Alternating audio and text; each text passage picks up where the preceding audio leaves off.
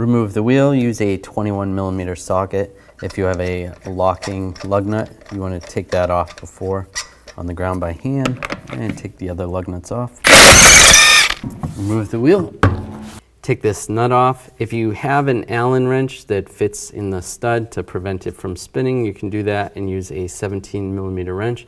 But sometimes the easier thing to do is use some locking pliers. Go behind here and lock the stud from spinning.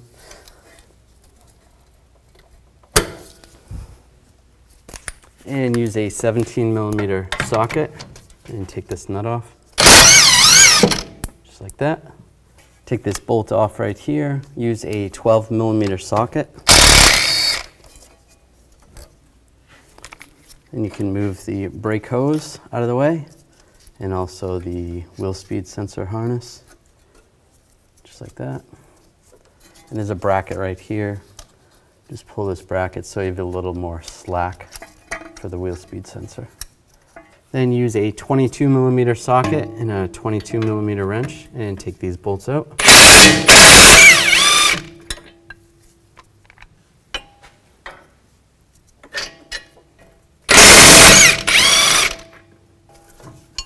And you're going to separate the lower part of the strut from the knuckle and just move this over. You want to make sure there's no tension on the brake hose or the wheel speed.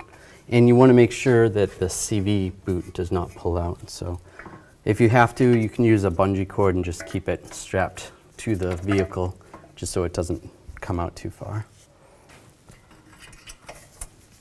Before we take the wipers off, the wiper arms off, you want to mark on the windshield where the wiper is so that you can put it back together in the same location when it's all set. You can either use a piece of masking tape or some type of crayon that's going to wash off the windshield afterwards. You can take this cap off. If you need to, you can use a screwdriver. Just get underneath here, but you might be able to just pull this off, just like that. Use a 14 millimeter socket. Take this nut off. And just grab the arm, rock it back and forth, and slide it off. And now do the same with the other one. Underneath here, there's some little clips. You kind of got to push them in a little bit, rotate it out. Just push it, push it in and rotate it.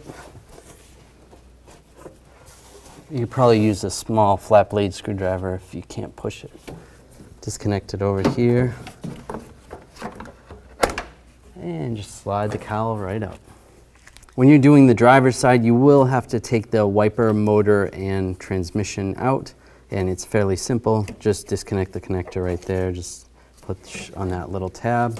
And then there's all these bolts on the side. Use a 10 millimeter socket, take those out. And grab the transmission and slide it out. Take a 14 millimeter socket. We're gonna break all these loose first. They're pretty tight. Then use a 14 millimeter socket and take them out the rest of the way. Before you take the last one out, make sure you grab the coil spring.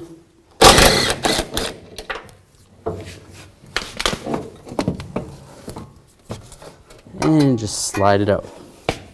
When you're installing the new strut, make sure the mount, these two arrows, are facing the front of the strut. You want to install it that way. Now keep some of the nuts in your hand and line this up underneath. Get the studs lined up.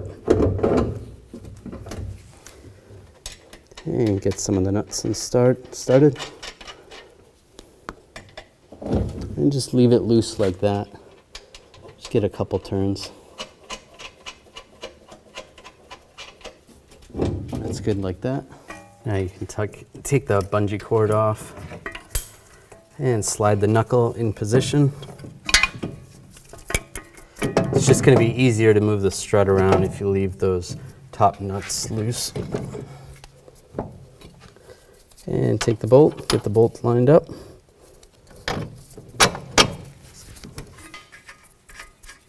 Put the nuts on.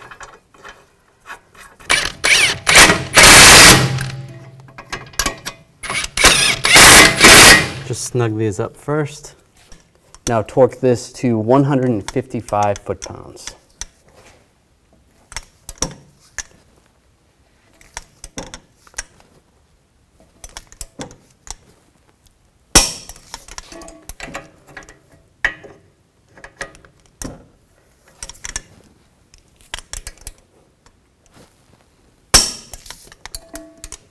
Now we're going to line the wheel speed sensor up, put this bracket right in here, get that lined up.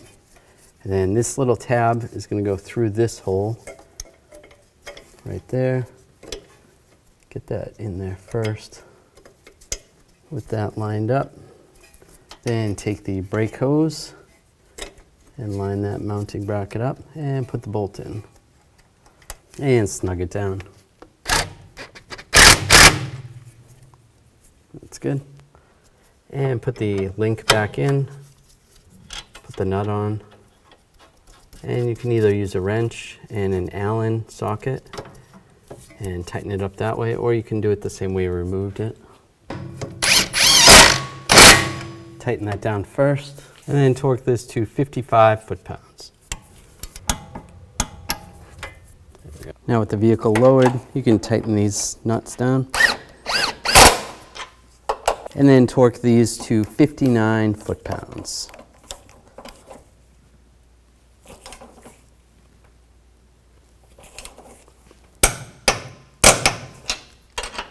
And take the wiper transmission, slide that back in position.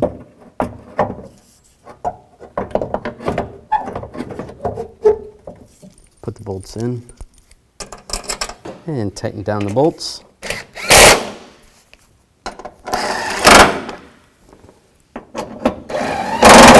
And plug the connector in.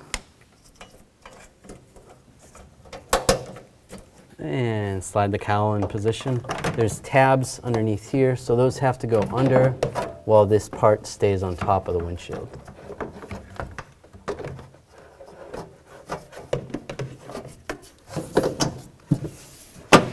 And push it down. And reconnect the sides. They just push into place. And put the wipers back on. Make sure they're in the right position where you marked it. Put the nuts on and snug those down. Take the cap, put the cap back on. Do the same on the other one. Put the wheel up. And put the lug nuts on.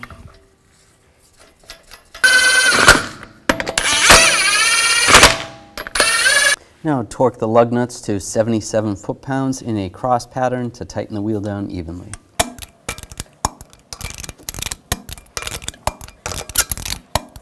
Just go around again, double check.